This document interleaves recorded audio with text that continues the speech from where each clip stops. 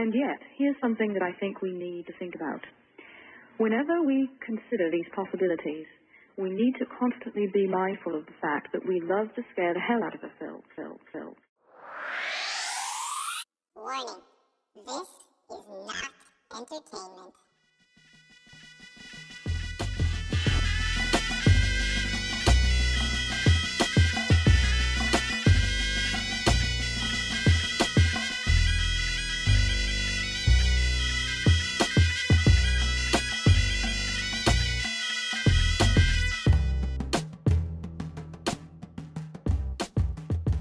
Over the last two years of doing this podcast, I've generally saved the announcements and the gratitudes for the end of the show. And I realized lately that I'm really doing you guys a disservice by always attaching it as a postscript to the actual content of the episode because I know not everybody sticks around to the very end typically, and I do the same thing. Uh, when you start hearing that that outro or send off music, you realize that the show's winding down, and you you know click the pause button or you just jump along to the next next thing you want to listen to. And as such, you you might miss a few things that are important nonetheless, but they're tacked on at the end. So occasionally, I'm going to try to periodically put those things in the front because a lot of you guys really deserve um, to hear that recognition if you don't hear it at the end. And I, I just want you to know how grateful I am for your continued support for this show. Uh, in the last couple of weeks, a lot of people have been going out and leaving reviews. And by a lot, I mean like a dozen or so just on iTunes and then other platforms, probably another couple dozen there. And that's a big deal. I mean, I've been listening to podcasts since 2007, guys, and I could probably count on two hands the number of shows I've actually left a review for. So it's not lost on me that you take the time to go out and leave a five star review for this tiny little show. And for those of you that actually take the time to, to write some comments or write some positive feedback into the podcast uh, algorithm, you know, that that just makes my day. You know, as any podcaster has probably gone through, or anybody who does any sort of, you know, creative work or, you know, just any sort of work on top of their daily responsibilities like this, uh, trying to build an audience or trying to engage with people you go through seasons where you wonder if it's even worth it. You know, like is anybody listening? Does anybody even care? You spend countless hours each week editing, recording, putting together scripts and timelines. And, you know, there are times where, you know, it, it ebbs and flows, but there are times where you start to wonder if it's even worth it. And for me, I never saw this show as something that I was going to try to grow into a business or an enterprise. You know, that, that thought is almost kind of silly to me. I mean, it would be awesome to be able to do something that you're passionate about anyway as a profession, but I never, I never got into podcasting for that reason. Um, as I said way, way back when I started this show, it was really just more of an outlet for me. It was a way to, uh, you know, basically vent and, and, clear out some of the ideas, um, work through some of the ideas um, that I've been thinking about out loud. Um, so the fact that people want to listen to that and people enjoy it is kind of just icing on the cake. And I just want to thank those of you who have gone above and beyond and left us reviews. They say like one out of every hundred listeners might leave you a review. I've actually heard numbers as high as one in a thousand, and you know I actually think that's probably more accurate just based on the statistics that I that I see for number of downloads for this show. So to see over a dozen people go out in Apple iTunes and you know go to the Eschaton podcast page and leave us a review, that's awesome. And I know some of you you know listening through the Fringe Radio Network and other places have left reviews there, and that's awesome too because those guys deserve that recognition as as well. Um, I really just appreciate you guys doing that and continuing to help support us and to help this show grow. You know, this this show kind of came out of the gates as just a tiny little passion project in 2017, and since then, you know, it's grown enough to the point where you know people that I never thought I'd have the opportunity to talk to have actually contacted me, you know, and you know asked about the show and asked you know if we could if we could talk sometime. So and, and likewise, I've reached out to other people and they've been receptive to come on because they've you know looked through our backlog of content and they enjoyed it. So that's all because of you guys and, and, your willingness to listen, your feedback at the beginning, especially when the audio was really choppy and bad. People gave me a lot of constructive feedback. And, um, you know, I continue to appreciate that as it comes in. So I just want to thank you. I want to say thank you, especially to my Patreon supporters. I know you may not always hear it. Um, a lot of times I, you know, as I said, put that in the postscript of the episode, but I don't want you to think that you're forgotten. So, uh, the handful of you who are monthly supporters for this show, as you know, I don't make any money off this show. I have no desire to make any money off this show. It's purely a passion project and always will be. Um, however, those of you who support the show, it really it, it's amazing to me because all of that goes right back into the podcast, whether it be through promoting it through advertisements, uh, investing in you know books or um, hardware needed for the podcast, which is I think that's never actually been the case because I had all of my equipment beforehand, and I don't think I've purchased any books um, with any donation money yet. But hypothetically, you know, it could be used for that. Um, but for the most part, the money that's been invested in the show has been given back uh, right back into it through advertising campaigns, uh, either through Facebook, Instagram, or third party sources, or it's just remained in that Patreon account kind of as a uh, a rainy day fund should we ever need to use it for any sort of campaign for this podcast. And I want to thank you guys for making that all possible. Uh, one thing I would like to get into into the future um, is, you know, we've talked about this before, is ways of giving back. So possibly, you know, charity campaigns. Uh, we've talked about doing summer retreats or um, initiation, rite of passage type camps for young men. Um, those things cost money and they take time. So I'm looking at ways to kind of save up some of these Patreon donations and the one-time PayPal donations to come that come in to fund those things down the road. So I just want you guys to know that any donations you've made to this podcast are not wasted uh, at all. If I don't have a good use for them, then I just don't use it. That money just sits untouched, and when the time comes, uh, whether it's through an opportunity to give back through a charity or something like that, um, I will bring it to you guys first and um, and go from there. Um, for those of you who you know care enough to to contribute to those discussions the retreat or camp idea is just one example. And uh, hopefully, we'll have more things like that coming down the pike in the future. And if you guys want to get involved, if you want to support that or even better participate in it somehow, you know, that would be ideal. So I'll try to make a better effort of putting those things occasionally on the front end of the podcast or in the middle of the podcast, as opposed to always attaching it on the end or sometimes just not talking about it at all. It might be hard for some of you to believe this, but I'm truly not a very good self promoter. Um, I've always just I don't know. It's just weird to me. Like I know you have to do it in business, and I've you know I've worked in sales and things like that too. I sell real estate on the side. Same thing there. Like I just I'm not very good at promoting my businesses or my extracurricular activities.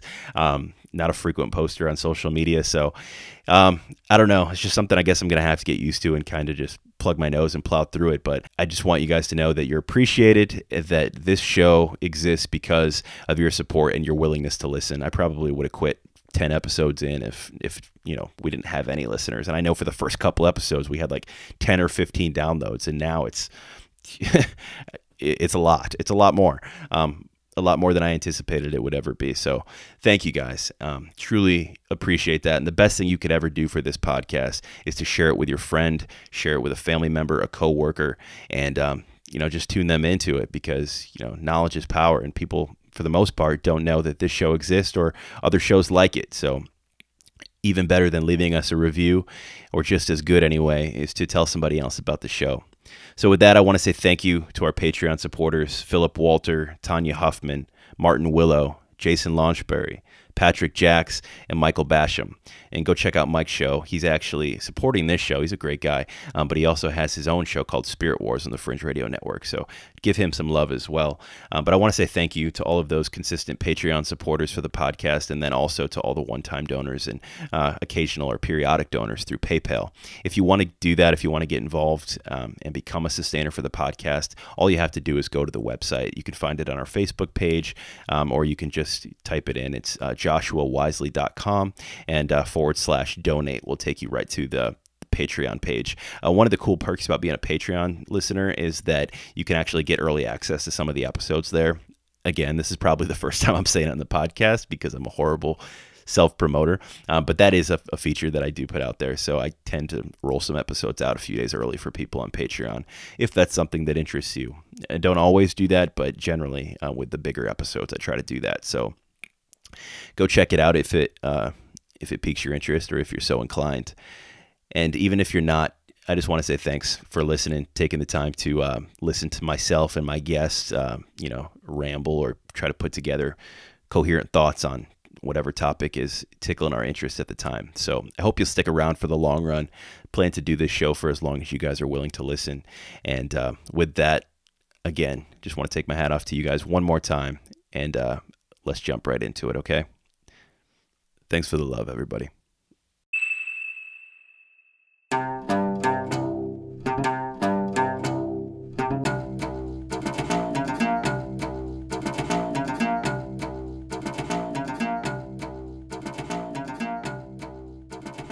Most of the adversity that each of us will face in life could have been avoided. We notice this in retrospect. After you go through the adversity, you can look back and you can see if I had turned left here, if I had turned right there, if I had stopped, paused, and thought twice before doing this particular thing, I could have spared myself a lot of hurt and a lot of heartache down the road, a lot of trial and tribulation. That's one of the beautiful things about being human this ability to reflect on past decisions and then to hopefully use those reflections to build wisdom and course correct for the future. But not all adversity can be avoided. Some things seem inevitable no matter what you do to prepare yourself against it. This thing is like a conveyor belt that you're strapped to, and you can see the inevitable waiting ahead of you, but you're just continually brought closer and closer to it, seemingly with no escape route. This is called the trap. The term is simple, straightforward. It's not foreign to any of us. We know what a trap is. It's something that ensnares you, something that may catch you by surprise at first, but once you're caught in its grasp, you're stuck there, forced to just wait out the inevitable. Today, I want to talk about a particular kind of a trap. This trap's named after a man who lived a long time ago. He's considered by many to be the father of history. And if you're a longtime listener to this podcast, you know that my opinion is that Herodotus is the father of history. He wrote the history of the Persian Wars, uh, dealing not only with Persia, but with the history of Egypt, Greece, the Ionian Empire, and what's now modern day Turkey, and just fascinating stories all around. They've actually been the inspiration for a couple of different podcasts on this show.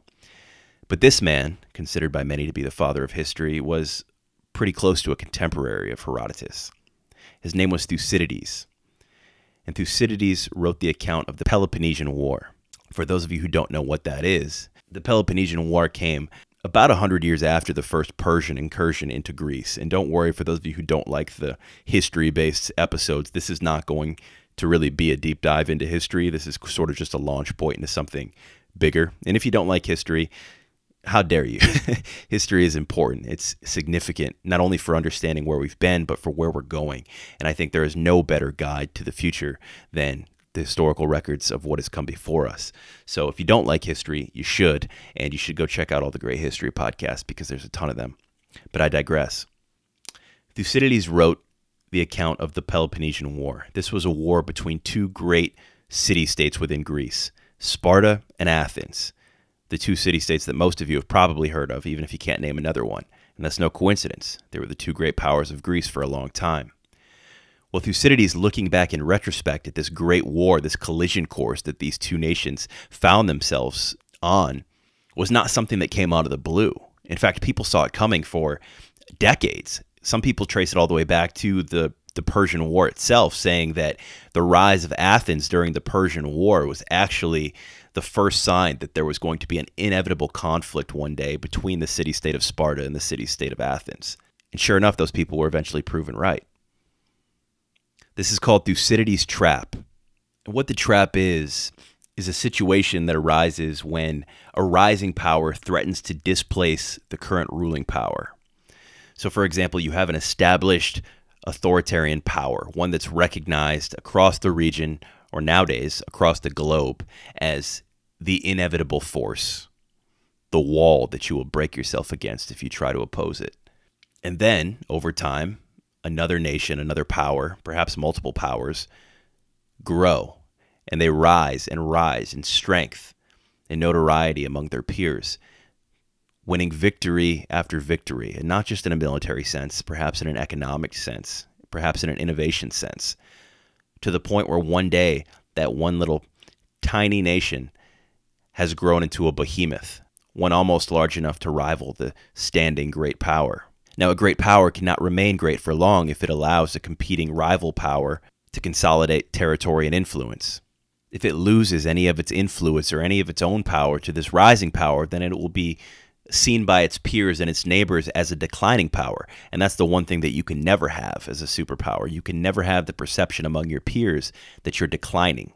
It's a sign of weakness, and you become vulnerable, or at least you appear vulnerable. And this is where the idea of Thucydides' trap comes from. This idea that the inevitable is always waiting right there.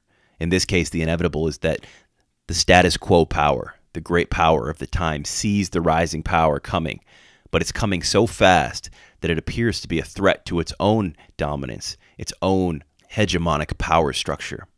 And therefore, conflict between the two is inevitable. It's going to happen. It's not a question of if, it's just a question of when. There's a famous quote from Thucydides in the Peloponnesian War where he says this quote, The growth of the power of Athens and the alarm which that inspired in Sparta made war inevitable. End quote. The growth of the power of Athens and the alarm, the key word there is alarm, which it inspired in Sparta, made war inevitable.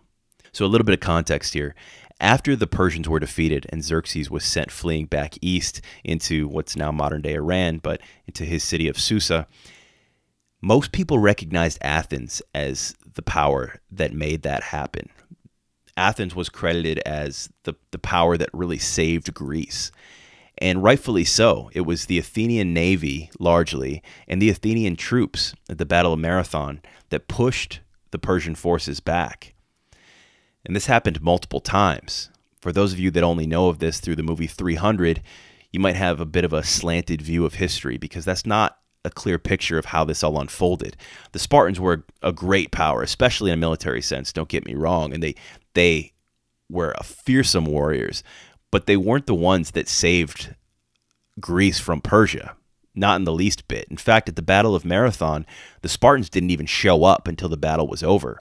They were extremely religious people, and when the Athenians came to them and said, "Hey, we need your support," they basically said, "We'll be there when we get there. We're in the middle of a religious ceremony right now." Well, by the time the Spartans got there, the war was over, and the only reason the per- the Persians didn't sack Athens was because the Athenian army stood their ground and they they basically defeated the Persians. That was the first sign that was the sign to the Spartans that, wow, maybe these Athenians aren't just philosophers and boy lovers. Maybe there's something more here. But no matter. The Spartans didn't really pursue it or see it as a conflict at that time. They just let it be. And then Athens grew its navy. And eventually they defeated the Persian navy, something that was unheard of in the time. This would be the idea of Buster Douglas knocking out Mike Tyson in the modern sense for an equivalent there. I mean, nobody saw that coming. The Persians were the greatest naval force and land force in the world at that time. To see the Athenians come up as this insignificant city state at the time, again, this is not yet the Athens that you know and remember today. To see them come up and knock them out, you know, just sucker punch the Persians right in the mouth and send them whirling, that took the world off guard. And the Spartans, their neighbors to the south, it wasn't lost on them. They noticed it as well. So, long story short, fast forward a couple decades, the Persian War has ended. The threat of the Persians has subsided. Well, where do they turn their attention? Where do Athens and Sparta turn their attention as Greece is rebuilding and recovering? They turn their attention to each other because your once ally has now grown to a point where they can look you in the eye. And that was something that Sparta just could not have. In the hundred years from the first Persian invasion under Darius to the Peloponnesian War, Athens grew from a second tier power to the premier maritime force. And by contrast, Sparta found itself in the early stages of decline. And so the groundwork was set for the trap. And here's the interesting thing about the Thucydides trap scenario here, the original trap scenario. The war ultimately that came to be between Sparta and Athens was not sparked by direct conflict between those two powers. No, it was sparked by a conflict between two far lesser powers, and those were the island of Corcyra and the land city state of Corinth. Most of you will know Corinth from you know the Corinthians, the first and second Corinthians in the Bible. Well, that was a city state that was allied with Sparta, but it lied very close to Athens, just south of Athens. So Corcyra, an island state, a maritime uh, basically vessel power to the Athenians, they were in dispute with Corinth, and both the Athenians and the Spartans tried to stoke those fires because if they were to basically break out into conflict one on one without the support of either of the great powers behind them, well, then the stakes were high for the great powers because if, for example, the Corinthians were able to subdue the Corcyraeans, that would jeopardize Athenian supremacy on that island city state, if that makes sense. And vice versa. If Corinth were to fall, well, then that just consolidated Athenian power right next to the Spartan border. Athens already didn't like the idea that a Spartan ally was on their doorstep, basically to the south, and that those shields could be called up at any moment if hot conflict broke out. So they would like nothing more than to see Corinth distracted or, you know, even torn apart. So they supported the Corcyraeans, and likewise the Spartans supported the Corinthians. Now, Athens and Sparta were not concerned with the dispute, but rather they were only concerned with how it would affect the balance of power between them. So immediately by now, your mind should be jumping back to the present time, and you should see some correlations here. Look at some hot spots around the map and realize that this is sort of a timeless theme, right?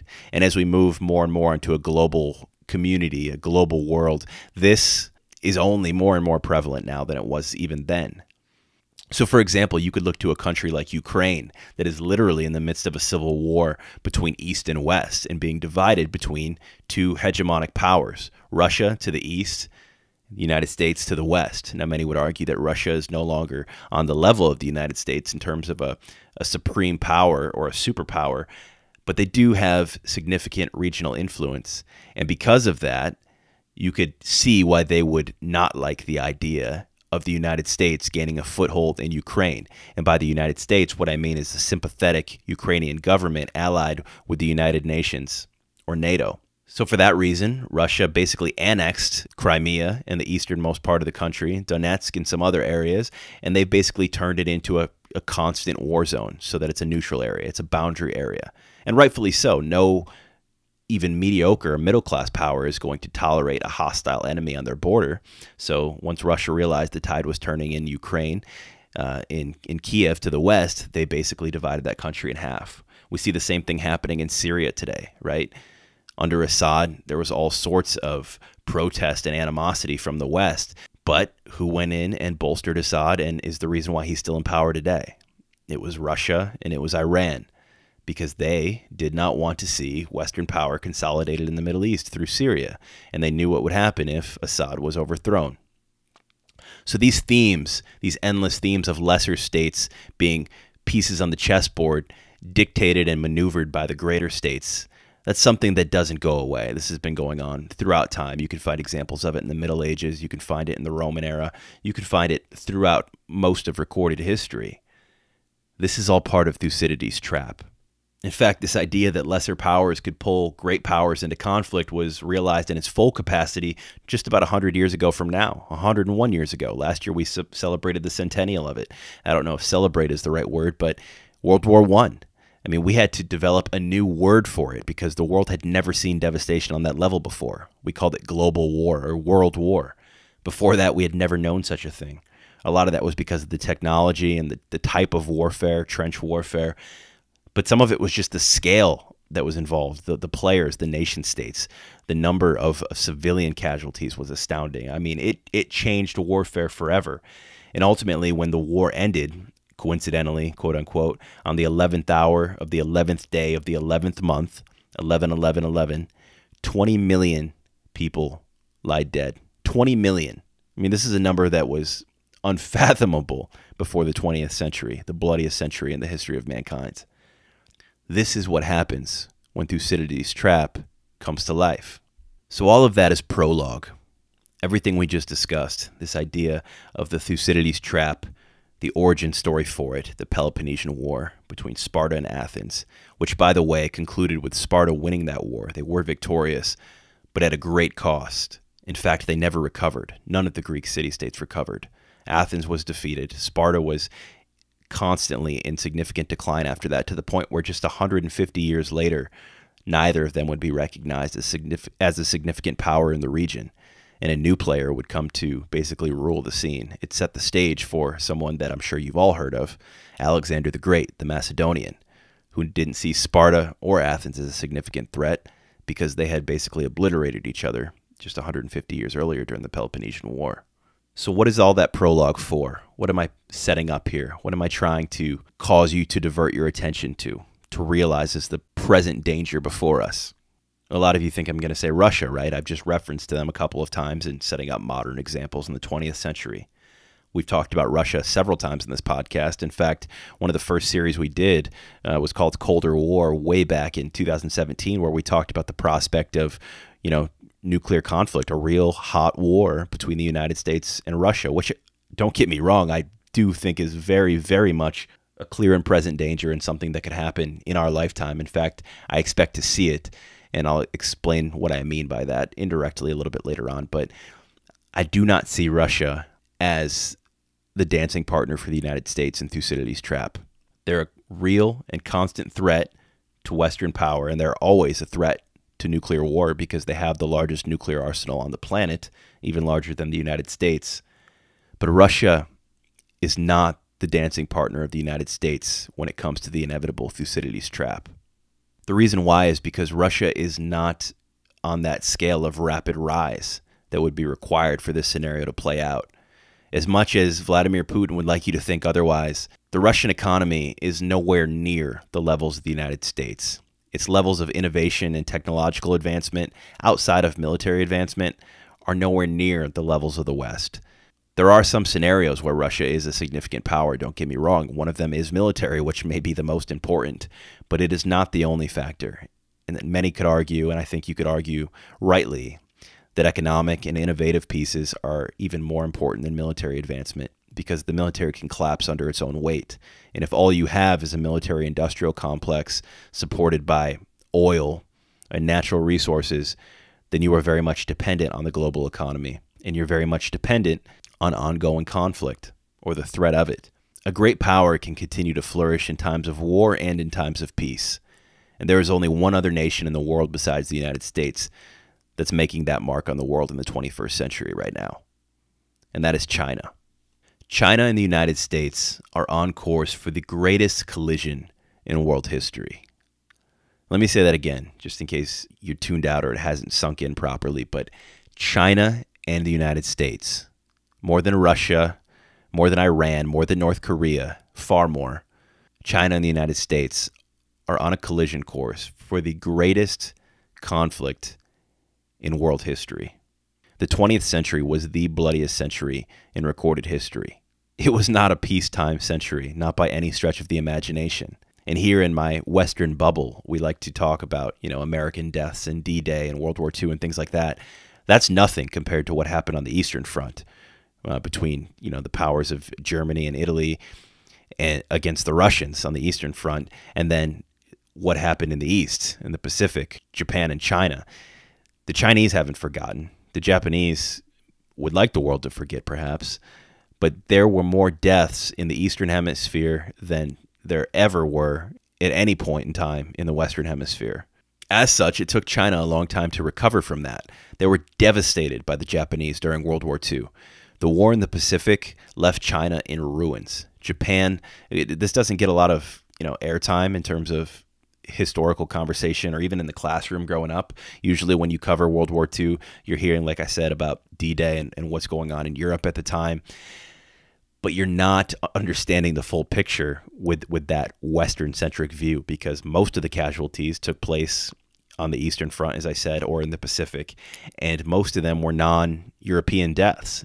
Japan ravaged China during World War II. It was raped. And if you'd like a good historical account of what happened during World War II on the Eastern Front, and in the Pacific. I highly recommend Dan Carlin's podcast, Hardcore History.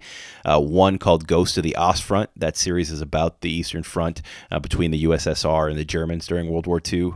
Just mind blowing uh, levels of detail and research that he did that will just keep you on the edge of your seat and totally change your perspective of World War II and who the true heroes were um, during that war.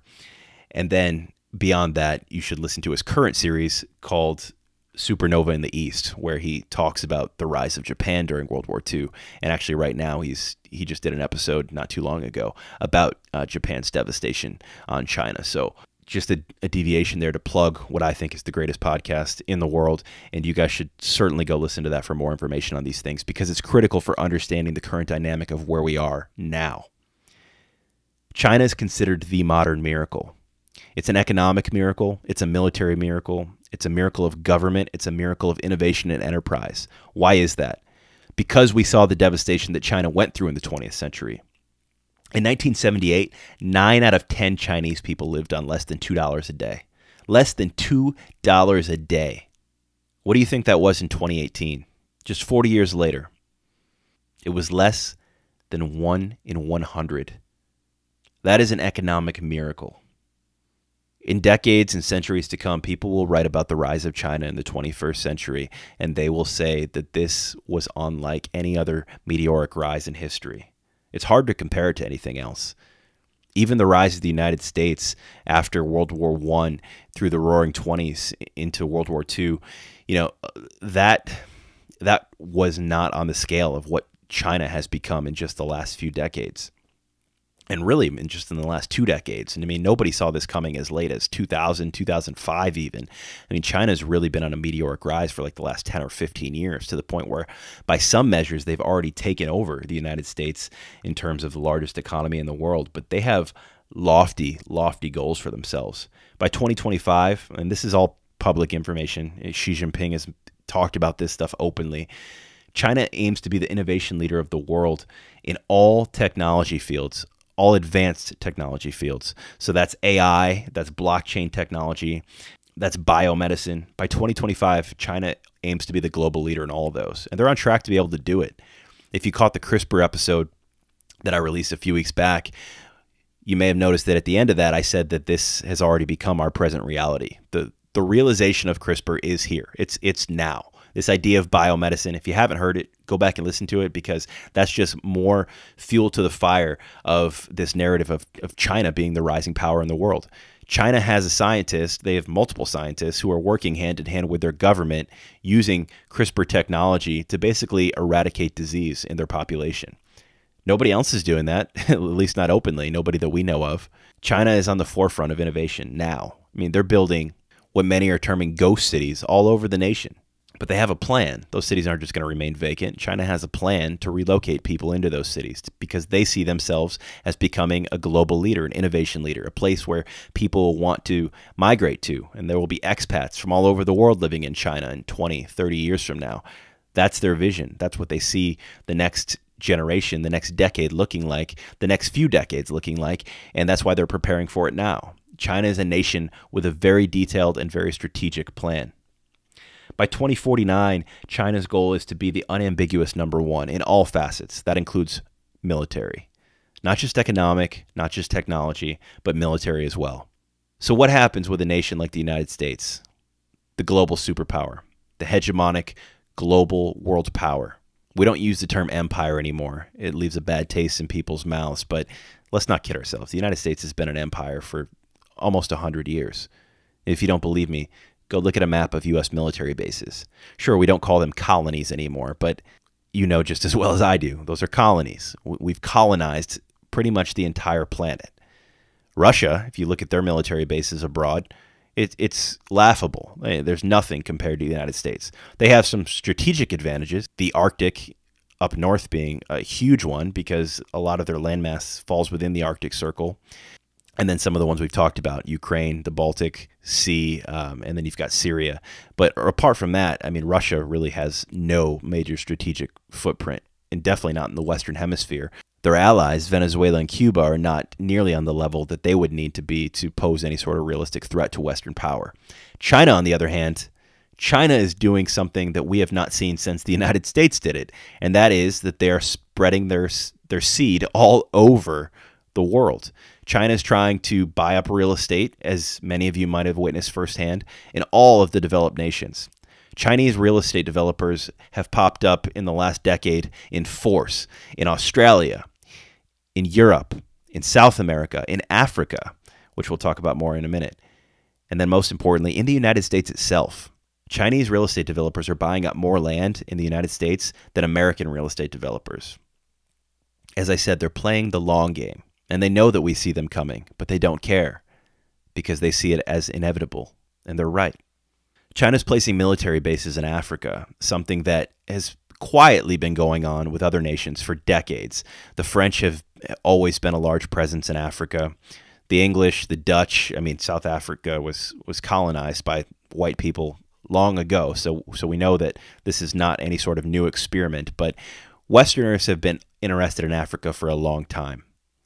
Well, China is now very interested in Africa, not only for the prospect of military alliances and natural resources and minerals, but also for investment, infrastructure investment. China's pouring money into these countries to develop them because they know that if they pour money into these countries and these countries become stronger, that they'll become allies with the Eastern Bloc. It's just smart strategy. Meanwhile, the United States is starting to be perceived as a declining power. I definitely think that the rumors of our demise have been highly exaggerated, but it is a decline, albeit a slow one. And as that arch of history begins to change direction and the US starts to come down the back nine and China begins to rise up, well, you tell me, what do you think is going to happen? One scholar said in regards to the rise of China that all of this has happened so fast that we haven't yet had time to be astonished. That is the definition of the trap, right there. Thucydides couldn't have said it better himself. All of this has happened so fast that we haven't yet had time to be astonished. This is when the great established power begins to get shaky in their knees and they begin to prepare for the inevitable because they know it's coming. You see, the interesting thing about the trap is that nobody wants to be the one to pull the trigger. Nobody wants to be the one to throw the first punch. Vladimir Putin has a famous quote, and I really like it. It's, it kind of echoes a Mike Tyson quote, but he says, if, if a conflict is inevitable, you should be the one to throw the first punch. And I guess the broader context there is he says you should always try to avoid a, a, conflict. If, if at all possible, avoid conflict. But when it becomes clear that conflict is inevitable, make sure you're the one to throw the first punch. That's the quote from Putin. And I agree with it. I, I think it's a, a great strategy, it's a great philosophy to live by. If conflict is inevitable, make sure you're the one to throw the first punch. Because if you don't, you may not get the opportunity. Well, right now, we're living in a world where it's kind of interesting because it's tripolar in a sense. I, as I've said, for reasons just discussed, Russia is not on the same level of China in terms of posing a, a bona fide threat to the West. However, they do have a very, very powerful military that should always be treated with the utmost seriousness, if for no other reason than its nuclear power. We could be on a collision course with them for sure. But the collision course that we're on with China has the potential to reset the global order in ways that nobody, nobody could have seen coming just a few years ago. And what's more is that when a new power rises, they don't just make enemies, they also make new allies. And what we've seen is that China and Russia have really run into each other's arms as of late. All sorts of alliances and pacts and agreements for trade. The presidents of the two nations are constantly seen in photo ops together, smiling, shaking hands, laughing. You think this is a coincidence? No. They want the world to perceive them that way because, as strong as they are individually, how much stronger are they together? I remember when I was a kid, and I was like five, six years old. My grandpa, my grandparents had this this little rancher house, and this this town uh, that I lived in for a few years when I was young. And I remember there was this kid that lived next door to my grandparents, and I'd always go play in the backyard. He had um, you know, a younger sister about my age, and we'd play together. But he was a couple years older, and he was kind of a bully. And this kid, you know, would like, pick on me. He would like he was stronger than me. He's like two, three years older than me. Um, I might have been five or six. So he's probably eight or nine. And this kid, you know, would just be a jerk to be a jerk. I mean, he was just a dick, even at even at that age. And I remember one day there was another kid who lived a few houses down, who was about the same age as, as this kid that you know used to give me a hard time when I was really young. And um, I remember one day I was playing outside at my grandparents' house, and you know the bully kid came over and he's making fun of me. I don't think he ever did anything physical, but he was you know just being a jerk. And this other kid walks up, and he basically just stands next to me, and he looks at this other kid like like what's up what are you going to do and the guy's whole demeanor changed I, I remember this you know like it was yesterday, even though it was like 28 years ago. But this kid backed off. You know, this kid had always felt confident, like he could easily overpower me because he was so much older and so much bigger. But then this other kid who was much more his peer shows up and he backs off. And uh, that always stuck out to me because it's a clear example of geopolitics. When nations ally, when you force otherwise rivals into each other's arms, it levels the playing field again, it's something that's not foreign to history. We we see it frequently throughout throughout historical records, but right now it's happening before our eyes, and nobody's really talking about it in the West. We just assume that we're untouchable, and this this level of hubris is going to get us. It's going to get us killed. I mean, at some point, this is going to boil over, and we will not be victorious. And the reason why is because that level of hubris and this idea of being untouchable. Russia and China are creating that that new underdog alliance. But the interesting thing is that China's not really an underdog anymore. They're the 400 pound gorilla in the room. I mean, they can look the U.S. in the eye on their own now. So to have Russia come up alongside them, well, I mean, that's just that's just extra at that point. So this is the collision course that we're on for the 21st century. This is Thucydides' trap, playing out before our eyes in real time. The inevitable collision between the United States and the People's Republic of China. Don't ignore Russia, don't ignore Iran or North Korea, but don't get caught up in the noise either. Those are peripheral to the clear and present danger that stands before us right now, and that is conflict between China and the United States. Don't get me wrong, the people of China, they seem great. I mean, I've met a lot of Chinese people. I went to college and shared dorm rooms with a few, and they're awesome people. Uh, in, in many ways, you know, better than my own countrymen in a lot of ways. I mean, they've they've learned to live with nothing. Many of them grew up with nothing. Um, they see the good in people. They have a work ethic like like very few others have. I mean, they're great people. It's not the people that are the problem. It's the, the nation states, the goals and the ambitions of governments and the people who sit in the ivory towers that are going to ensure that this story does not have a happy ending. Because a new power cannot rise without displacing the former one. And make no mistake about it, China is on the rise. I'll close with this because it's stuck in my head for such a long time. And I really do think that it bears some weight and it should be taken seriously. I don't always put stock in, you know, conspiracy theories and prophecies and predictions about the future. In fact, more times than not, I don't put any stock in those things. But this one stuck out in particular because it just seemed so out of left field at the time. And now it seems more and more plausible, inevitable, even a trap, even. but it was around the time of um, the millennia 2000, 2001 people were actually talking about Y2K at that time. Yeah, of course. But they were also talking about the Mayan calendar. I remember back in like 99 even as like a 12 year old kid hearing people talk about the Mayan calendar ending in 2012. And I might have been listening to um, Art Bell and Coast to Coast or something like that. Um, but I remember whatever I was listening to, some radio show with my with my dad, I heard um, this guy come on and he gave his predictions uh, for the next year, as they often do on these New Year's Eve shows. And I think it was '99. It might have been 2000 going into 2001, but that's neither here nor there. But in any case, they're asking this guy what he saw coming down the turnpike, and uh, he starts talking about global affairs. And he completely ignores what's coming in the next year. Completely ignores it. Mind you, this is in 2001. This is not the China that we're talking about today. This is pre miracle China. This is China in the very, very baby steps of that miracle.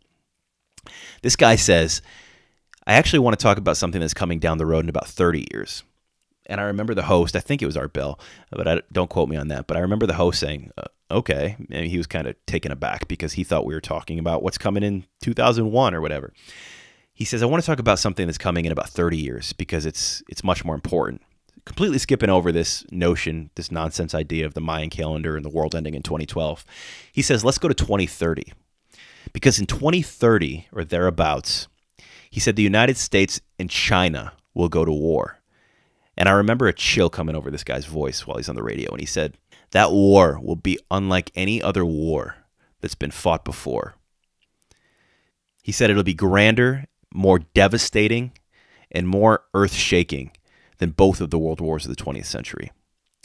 And I remember getting chills when I heard that. I don't even think I was in high school yet.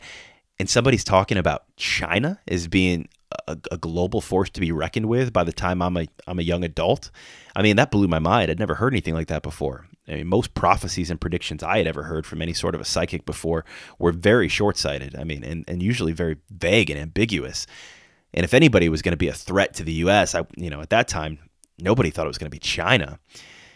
And this guy was so confident, so sure, but also so humble and so concerned in his presentation of it that I just never forgot it. It stuck with me to this day.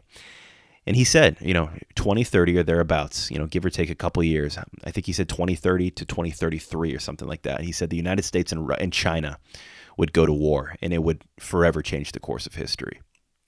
And here we are, 2019 barely a decade away from this designated time frame. And you know what? It's it sounds believable to me. It sounds plausible because we're at a stage where China's rise won't be able to be ignored for much longer. Very soon, China will be seen as the inevitable superpower of tomorrow, and it will displace the superpower of today. Even if the U.S. survives and wins that war, like the Spartans did against the Athenians, there's no coming back from that. Like Russia, when they fought the Germans on the East Front and lost millions and millions of their young men. Generations were lost. They're still dealing with the consequences of that today. You tell me, do you think the United States and all of its fragility, all of its political divisions, economic ups and downs, do you think that it could withstand that? I mean, I mean, I know there's a lot of patriots listening to this show, and even in my own you know family and network of friends who would say of course you know adversity is what brings out the best in us. That's just kind of like an american motto this cowboy spirit that we always take it on the chin and then pick ourselves up by our, bootstraps and we kick some ass. Yeah but that can't go on forever. That can't go on forever. And if you want to be technical the us hasn't won a war since world war ii and even then it was the russians who won that war. Make no mistake about it if it wasn't for russia we would not have won world war ii so this collision course seems inevitable. I think we're on the conveyor belt now, and Thucydides' trap has already been laid. History doesn't repeat itself, they say, right? But like Mark Twain said, it often rhymes. And you're about to hear that rhyme and that echo. But as cliche as it sounds, this time I think it's different. You know, men have been trying to obliterate themselves for millennia. We've always been trying to find ways to eviscerate our neighbors but the reality is, we now live in a world where that's a possibility. We have the technology, we have the capability to do that very thing. The problem is, our neighbors have that technology as well.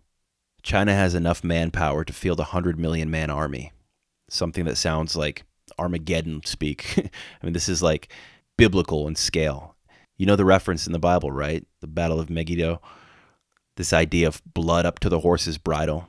Well, for those of you who take that literally, I'm not necessarily one of those people, but if you do, then you of all people should be paying attention to what's going on in the East because there is only one nation that could field enough soldiers to produce that level of devastation. And that is not America. That is not Russia. That is Red China. So I'll leave you with this watch, pay attention, keep an eye on it, look for the signs because they are coming. This conflict is coming the day will come when it'll be perceived as inevitable. And I'm telling you that it already is inevitable. People just don't know it yet. So don't be caught sleeping, or that day will come upon you unexpectedly. And when it does, there will be no escape.